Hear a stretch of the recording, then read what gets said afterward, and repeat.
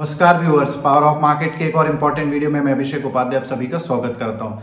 दोस्तों Sunday special video में हम हमेशा जो आपके साथ चर्चा करते हैं, आप देखते हैं कि किस तरीके से मंडे और आगे के दिनों में उसका प्रभाव पड़ता है।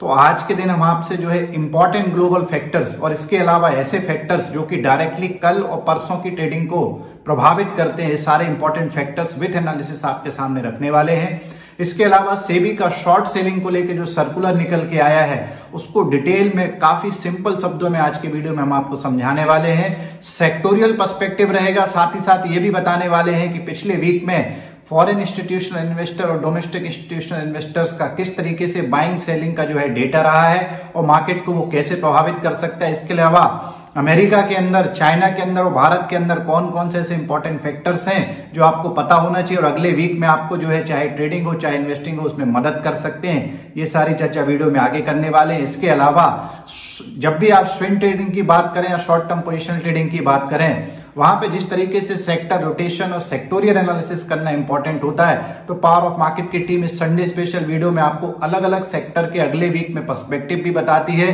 ये भी बताती है आपको कि कौन से सेक्टर अगले वीक में मज़बूत रह सकते हैं और कौन से सेक्टर वीक रह सकते हैं। निफ्टी, बैंक निफ्टी का डिटेल एनालिसिस वीडियो में रहेगा। साथ ही साथ कल के लिए कौन से इंपॉर्टेंट सपोर्ट और रेसिस्टेंस है जो आपको पता होना चाहिए। तो ओवरऑल चाहे स्टॉक्स की बात हो या निफ्टी, बैंक निफ्टी एनालिसिस की बात हो, सारे इंपॉर्टेंट फैक्टर्स का एनालिसिस करके पावर ऑफ़ मार्केट की टीम लगातार आपके सामने इंपॉर्टेंट वीडियोस रखती है।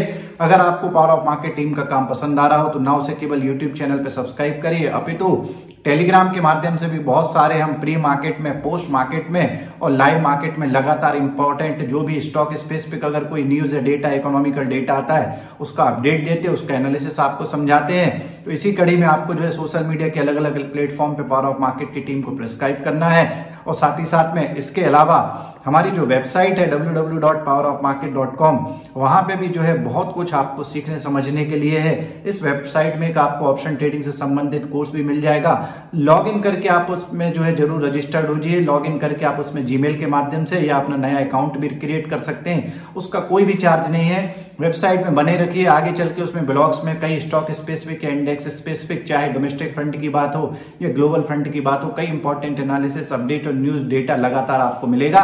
तो पावर ऑफ़ मार्केट की टीम के साथ इसी तरह बनिए। हम एक फ्रेंड की तरह फाइनेंशियल मार्केट में आपको कोशिश कर रहे हैं कि सही आपको जो है एनालिसिस रख सके, सही तरीके से आपको अपडेट रख सके। तो पावर ऑफ़ मार्केट को सब्सक्राइब करिए और हमारे वीडियोस को ज़्यादा से ज़्यादा अपने व्हाट्सएप ग्रुप में इंस्टाग्राम फेसबुक ग्रुप में लाइक शेयर कमेंट्स करिए। चलिए अब सीधे आज की वीडियो की शुरुआत करते हैं। और सबसे पहला इंपॉर्टेंट फैक्टर जो कि सेबी का शॉर्ट सेलिंग को लेके एक मार्केट के अंदर सर्कुलर आया और उसको लेके कई तरीके के इन्वेस्टर्स जो हैं ट्रेडर्स हैं, उनके मन में कंफ्यूजन बना हुआ है। तो इस वीडियो के बाद आपका वो कंफ्यूजन दूर हो जाएगा। सबसे पहला इंपॉर्टेंट पॉइंट ये है कि जो एफ़ एंडो के अंदर जो स्टॉक्स होते हैं, ऐसे स्टॉक्स जो फ्यूचर और ऑप्शन में जिनमें ट्रेडिंग होती है, उनके ऊपर किसी भी तरीके का सर्कुलर का कोई इंपैक्ट आने वाला नहीं है। अब दूसरी बात यह आती है कि जो ऐसे स्टॉक्स होते हैं जो कि एफ़ एंडो में नहीं रहते हैं, अर्थात जो नॉन एफ़ एंडो स्टॉक्स हैं, उसमें सबसे पहला पॉइंट आपको ये पता होना चाहिए कि जो इंस्टीट्यूशनल इन्वेस्टर्स होते हैं, वो भी उसमें सेलिंग करते हैं। और कई बार आपने देखा है, खासकर कई रिसेंट में आपने देखा होगा कि कई ऐसे जो नॉन एफ़ एंडो काउंटर है, उनमें 20-20 परसेंट के कई बार लोअर सर्किट लगते हैं। बहुत ज़्यादा उसके अंदर वॉलिटिलिटी रहती है, इसलिए उसमें सुधार हो अपफ्रंट आपको पता हो तो अब इंस्टीट्यूशनल इन्वेस्टर्स को अगर वो शॉर्ट सेलिंग करते हैं तो उनको अप फ्रंट में डिस्क्लोजर्स देना पड़ेंगे, और आपको अप फ्रंट में पता होगा कि कौन सा एफआई इंस्टीट्यूशनल इन्वेस्टर्स किस नॉन एफ़ स्टॉक में जो है शॉर्ट सेलिंग करने वाला है। दूसरा इंपॉर्टेंट पॉइंट ये है कि जो रिटेल ट्रेडर्स हैं, जो कि शॉर्ट सेलिंग करते हैं नॉन एफ़ स्टॉक्स में, आपको भी जो है ईओडी e के माध्यम से एंड ऑफ़ द डे में जो है डिस्क्लोजर्स देना पड़ेंगे। अब होता क्या है कि कई बार आपने देखा है कि कई रिटेल ट्रेडर्स ऐसे रहते हैं जिनके पास में किसी स्टॉक्स की डिलीवरी नहीं होती है और वो कई बार स्टॉक्स को नेकेट सेलिंग कर देते हैं और फिर पोजीशन को स्क्रफ नहीं कर पाते इंट्राडे में। तो इसके लिए एक मैकेनिज्म होता है security lending and borrowing obligations का जो मैकेनिज्म होता है, इसमें होता क्या है कि मान लीजिए आपने किसी नॉन एफ़ स्टॉक में शॉर्ट सेल कर दिया और आपके पास वो डिलीवरी में नहीं है देने के लिए तो फिर आप जो है एस के माध्यम से उसको जो है बोरो कर सकते हैं। और जब आप ये बोरो करते हैं तो उसके लिए आपको जो है बोरो की एक कॉस्ट देना पड़ता है, जो आपको लैंड करता है। उसको वो कहीं ना कहीं एक रेंटल इनकम के रूप में बेनिफिट होता है। तो ये एक मैकेनिज्म होता है, क्योंकि अगर ये मैकेनिज्म नहीं होगा और अगर आपने शॉर्ट सेल कर दिया, और कई बार बड़े बड़े इंस्टीट्यूशनल इन्वेस्टर्स भी शॉर्ट सेल कर देते हैं, पर चूँकि उनकी पोजीशन काफ़ी रिवर्स दिशा में चली जाती है, कि आपने शॉर्ट सेल किया और उसमें 20 परसेंट का पर सर्किट लग गया तो उनके पास भी ऑप्शन होता है कि वो उसकी डिलीवरी दे दें। इसके लिए जो है एस का ऑपरेशन रहता है। और अगर एस के माध्यम से सेटलमेंट नहीं हो पाता और आप डिलीवरी मार्क नहीं कर पाते तो फिर इसमें ऑप्शन के अंदर बहुत हैवी पेनल्टी कई बार 15 से 20 परसेंट तक की भी पेनल्टी रहती है। तो ये पूरा ओवरऑल ये जो सर्कुलर इसका इंपैक्ट जो है मंडे और ट्यूसडे को मार्केट के ऊपर पड़ सकता है। जो नॉन एफ़ एंड स्टॉक्स है, उनके अंदर वॉलिटिलिटी और लिक्विडिटी में आप इसका इंपैक्ट देख सकते हैं। तो अगर आप रिटेल ट्रेडर्स हैं तो आपको ये इन्फॉर्मेशन होना चाहिए, जो हमने अभी आपसे चर्चा की। और अगर आप इंस्टीट्यूशनल ट्रेडर्स हैं तो आपके लिए भी ये काफ़ी इंपॉर्टेंट जो है सर्कुलर है, इस हिसाब से आगे डिस्क्लोजर्स रहेंगे तो काफ़ी इंपॉर्टेंट होगा, क्योंकि कई बार देखा गया है इसमें जो है कोर्ट्स की भी कई तरीके की रूलिंग है कि कई बार मेनू प्राइस मैनुपुलेशन होता है, खासकर नॉन एफ़ स्टॉक्स में, कई बार कार्टल बना के लोग जो इस तरीके से प्राइस मैनुपुलेशन करते हैं तो आशा करते हैं कि आने वाले दिनों में ये जो नॉन एफ़ स्टॉक्स है, इनके अंदर भी प्राइस स्टेबल होगी और रिटेल ट्रेडर्स के लिए इससे काफ़ी फ़ायदे की बात है। अब दूसरा इंपॉर्टेंट पॉइंट ये है कि अमेरिका के अंदर, चाइना के अंदर और ऐसे कौन से ऐसे ग्लोबल इंपॉर्टेंट डेटाज हैं जो आपको पता होना चाहिए, जो मार्केट को प्रभावित करते हैं तो सबसे पहले, सबसे इंपॉर्टेंट डेटा अमेरिका का सीपीआई इन्फ्लेशन का डेटा गुरुवार को शाम को भारतीय समय अनुसार निकल के आएगा। तो इसका डायरेक्ट इंपैक्ट आप देखेंगे फ्राइडे के दिन में पड़ेगा। अब अमेरिका का जो इन्फ्लेशन का नंबर है, इस तरीके की फोरकास्टिंग बन रही है। हमने भी इसमें जो है अपना एनालिसिस कई इंपॉर्टेंट प्लेटफॉर्म के साथ में शेयर किया है। तो 3.2 परसेंट के आसपास की फोरकास्टिंग बन रही है। लास्ट टाइम में अमेरिका का जो इन्फ्लेशन का नंबर था, वो 3.1 परसेंट था। इसका मतलब यह है कि 10 बेसिस पॉइंट से अमेरिका के अंदर महँगाई बढ़ सकती है। और अगर महँगाई बढ़ती है तो एफ़ जो पिछली दो मीटिंग से वहाँ पे इंटरेस्ट रेट उसने नहीं बढ़ाया है। अमेरिका के अंदर जो इस समय इंटरेस्ट रेट का सिनारियो है, वो मल्टी ईयर हाई पे है। तो अगर इंटरेस्ट रेट इसी तरीके से बढ़ता है तो वहाँ की इकोनॉमिक ग्रोथ को हेम्पर्ड कर सकता है। क्रेडिट कॉस्ट महँगी हो जाएगी ओवरऑल कॉर्पोरेट अर्निंग्स के ऊपर इसका नेगेटिव एडवर्स इंपैक्ट हो सकता है। तो काफ़ी इंपॉर्टेंट डेटा इसके अलावा चाइना के फ्राइडे को सुबह भारतीय समय अनुसार सीपीआई इन्फ्लेशन के नंबर साथ ही साथ ट्रेड बैलेंस के number US dollar denominated trade balance के नंबर निकल के आना, अर्थात गुरुवार और शुक्रवार का दिन काफ़ी इंपॉर्टेंट है, जो आपको पता होना चाहिए। जब ये डेटा निकल के आएगा तो पावर ऑफ़ मार्केट की टीम इसका अपडेट और एनालिसिस आपके सामने रखेगी। तो आपको पावर ऑफ़ मार्केट के चैनल को सब्सक्राइब करना है, साथ ही साथ नोटिफिकेशन बेल भी ज़रूर आपको प्रेस करना है। इसके अलावा डोमेस्टिक फंड की अगर हम बात करें तो डोमेस्टिक फ्रंट में भारत के दिसंबर महीने के सीपीआई इन्फ्लेशन के नंबर 12 जनवरी को शाम को निकल के आना है। साथ ही साथ इंडेक्स फॉर इंडस्ट्रियल प्रोडक्शन के नवंबर महीने के डेटा भी जो है 12 जनवरी को निकल के आना है। तो डोमेस्टिक फ्रंट पे ये दोनों डेटा काफ़ी इंपॉर्टेंट है। तो ओवरऑल आप समझ सकते हैं कि शुक्रवार का दिन भी काफ़ी इंपॉर्टेंट हो जाता है। क्योंकि अगर शुक्रवार को आप बीटीएसटी एस टी पोजिशन लेके जाते हैं तो फिर मार्केट के अंदर मंडे को मेजर गैप अप और गैप डाउन देखने को मिल सकता है। तो ये डेटा भी आपके रडार पे होना चाहिए। चौथी बात करें तो जो कॉर्पोरेट अर्निंग्स की बात हो रही है, अब Q3 FY24 के कॉर्पोरेट अर्निंग्स का जो है कैलेंडर डिक्लेयर हो गया है। 11 जनवरी को आईटी सेक्टर की दो दिग्गज कंपनी टाटा कंसल्टेंसी सर्विसेज़ और इन्फोसिस के नंबर मार्केट ट्रेडिंग साढ़े तीन बजे के बाद निकल के आना है। तो आप समझ सकते हैं कि 11 जनवरी को जब ये नंबर निकल के आएँगे और अमेरिका का इन्फ्लेशन का डेटा तो 11 जनवरी को ट्रेडर्स आपको काफ़ी अलर्ट रहना है, क्योंकि 12 जनवरी को आपको काफ़ी स्ट्रॉन्ग गैप अप और गैप डाउन देखने को मिल सकते ओवरऑल आईटी सेक्टर से जो इस बार की क्यू थ्री एफ़ पे हमारा मानना है कि नंबर सबड्यूड रहेंगे।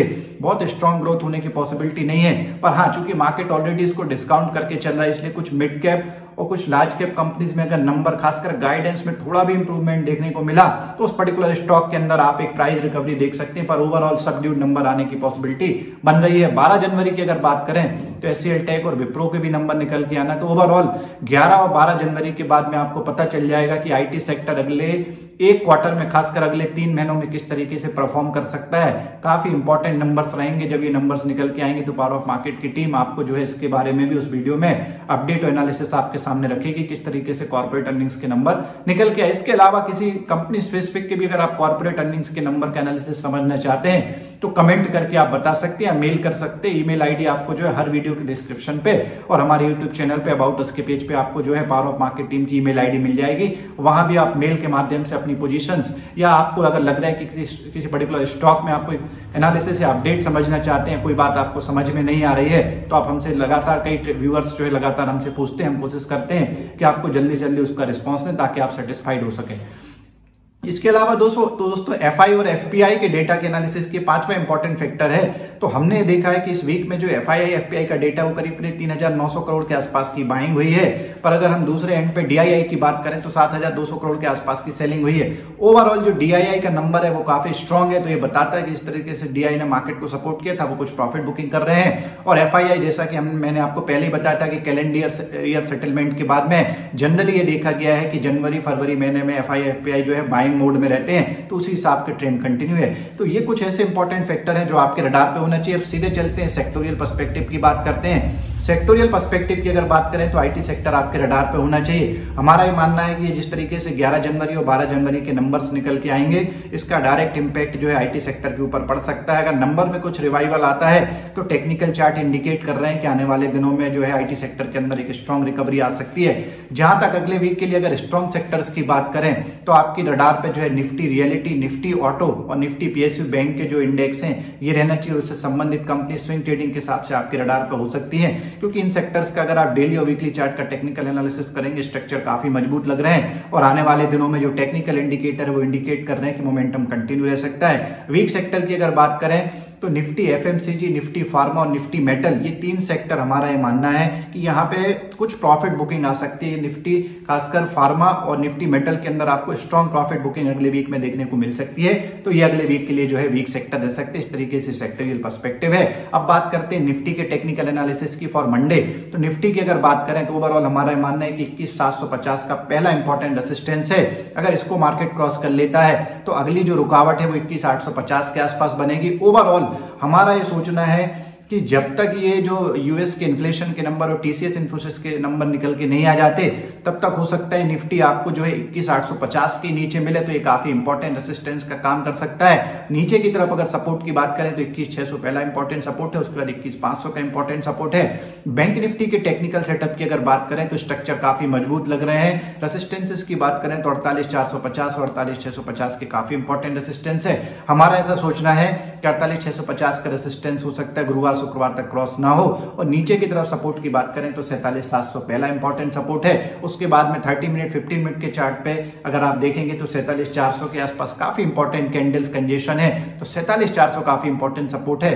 तो मंडे के लिए अगर हम ट्रेडिंग रेंज की बात करें तो सैतालीस चार सौ से लेकर अड़तालीस छह सौ पचास की काफ़ी broad trading important trading range है। इसके दोनों साइड में अगर जिस तरीके की भी जो है ब्रेकआउट होता है तो फिर आपको एक शानदार रैली देखने को मिल सकती है। तो इस तरीके से हमारा निफ्टी बैंक निफ्टी को लेकर एनालिसिस है।